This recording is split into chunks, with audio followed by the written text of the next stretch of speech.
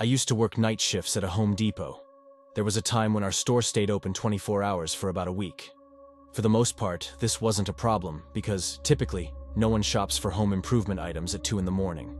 Well, except for that one couple who came looking for marble countertops at 1.30 in the morning, and the woman was wearing a nice dress.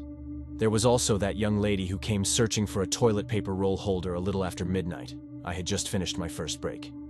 And she was wearing jorts and one of those stereotypical karate outfits, white with a black belt. She was oddly specific about which roll holder to get. But the real story involves the insulation. It was nearing 3 in the morning, and another guy and I were stocking insulation, as well as fixing the bays and performing some maintenance tasks. A bunch of large R30 insulation rolls had fallen in their bay.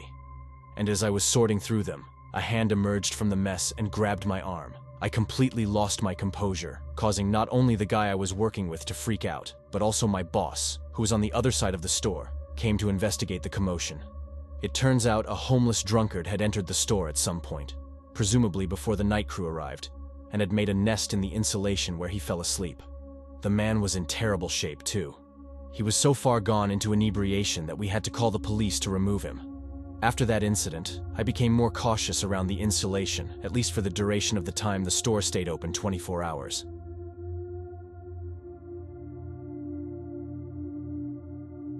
I used to work at a small hotel, and the manager there told me a terrifying night shift story. It was about midnight when she got a call at the front desk from a man. He said that he's with his eight year old daughter who dances competitively and needed advice on what she should wear. She gave him some basic fashion advice.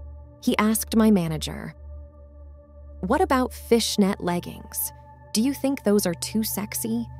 Then proceeds to talk in graphic detail about how he thinks his own daughter has been trying to seduce him for weeks and how he's starting to enjoy seeing her dance in these cute outfits. Meanwhile, my manager is looking through a computer system trying to figure out who this man is so she can call the cops. However, the room he was reportedly in was empty. The man ends up hanging the phone up before she could find out where he was truly calling from. A couple months later, at around 11 p.m., my manager answers the desk phone. A familiar voice asked her if she could help him pick out an outfit for his daughter's next dance recital. She asked him, Let me guess you want to know if she should wear fishnet leggings? The man immediately hangs up the phone.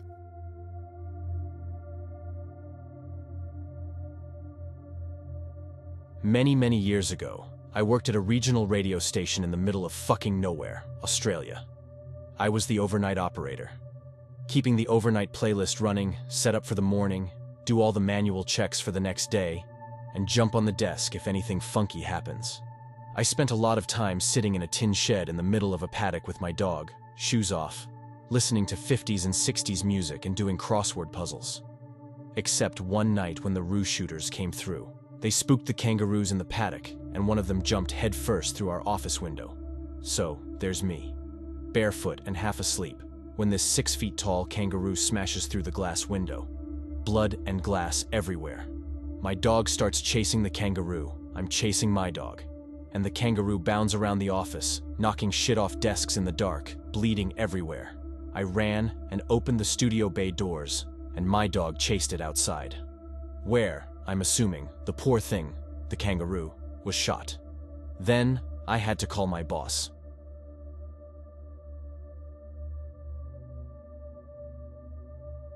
I worked in an emergency room.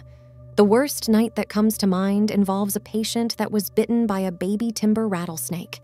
He was bleeding out of every single orifice by the time he got to us. More blood than I'd ever seen before outside of a motorcycle versus 75 miles per hour, head first to asphalt. I don't remember how many doses of Crofab we gave him, but it was the hospital's entire supply but trying to get him stabilized, arranging the helicopter transport to a bigger and better equipped facility. All the blood, those weren't the worst parts. The worst part was when the patient lost control of his bowels. I will never, ever forget that smell. I spent the entire time standing by the door with a battery powered fan and a handful of gauze pads saturated with cinnamon oil, trying to reduce some of the smell. The doctor occasionally stuck her head out just so I could waft the cinnamon oil in her face. Yes, by some miracle, the patient did end up surviving, and as far as I know, he made a full recovery. But the blood, the smell, and just the shock of it all. Yeah, Never underestimate a baby timber rattlesnake.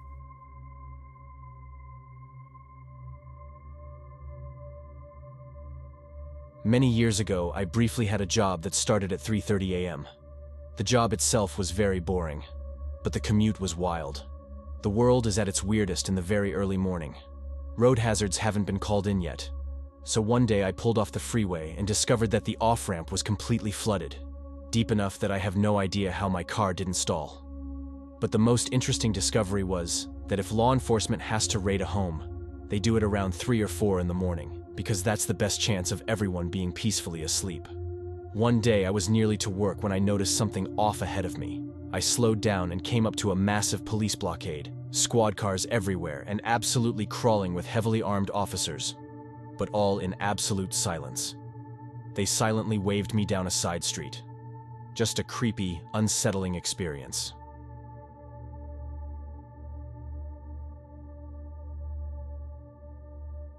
I work at Walmart. We have had people slit their wrists or OD in the bathroom, even have sex on the floor. One of our managers was attacked by a shoplifter with a hatchet. Another got maced in his face, but his beard saved him from most of it. Just a lovely bunch. Anyway, the scariest thing that I have heard was one Christmas day when the store was closed, the alarm went off. A manager lived down the street, so he had to be the one to go check it out. He came in, shut off the alarm, then checked for any signs that someone had broken. Nothing. He hears a child's laugh. Now he was alone in the store. No one else was with him. He looks for the kid, but can't find anything hears the laugh a few more times, then goes to check the cameras. Nothing. He locked up and refused to go back into the store alone. Apart from that story, the only creepy thing I have personally experienced was being on a register, away from everyone else. I would constantly feel like someone was behind me. It would creep me out in the middle of the night. Years later, I hear someone talking about things falling off the shelves for no reason in a particular spot. We had a remodel, and the spot was where that register had been. I avoid that area at night now.